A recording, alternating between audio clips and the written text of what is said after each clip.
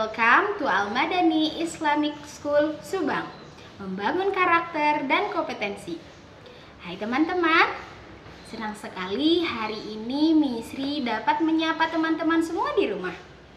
Nah, kali ini Misri akan mengajak teman-teman untuk membuat percobaan. Kira-kira percobaan apa ya teman-teman? Nah, teman-teman, sebelum kita melakukan percobaan, ayo teman-teman sekarang siapkan dulu 3 butir telur. Oke. Untuk selanjutnya, teman-teman siapkan 3 buah gelas. Oke, selanjutnya teman-teman siapkan satu bungkus garam. Dan yang terakhir, teman-teman siapkan satu botol minum. Ada satu lagi teman-teman Misri lupa, yaitu sendok.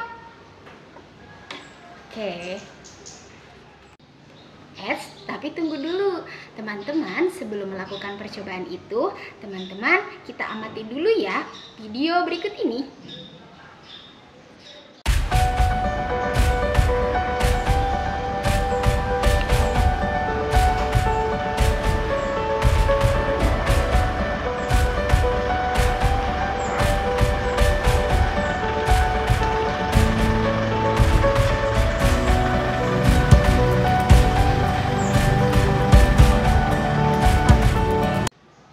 Nah, begitulah teman-teman hasil dari percobaan Misri. Nah, sekarang coba teman-teman perhatikan, adakah perbedaan di setiap gelasnya? Ya, betul sekali teman-teman. Di setiap gelasnya ada posisi telur yang berbeda-beda.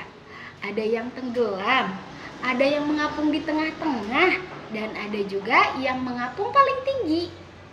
Eh, teman-teman, sebelum mencobanya, Misri akan memberikan pertanyaan terlebih dahulu kepada teman-teman ya. Oke teman-teman, untuk pertanyaan yang pertama, berapa sendok garam yang dilarutkan pada gelas yang berisi telur yang tenggelam, mengambang di tengah-tengah, dan mengambang paling tinggi? Three.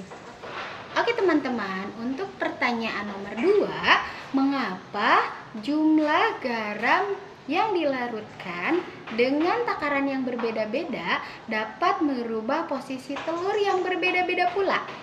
Nah, untuk pertanyaan yang terakhir, contohkan percobaan ini dalam kehidupan sehari-hari.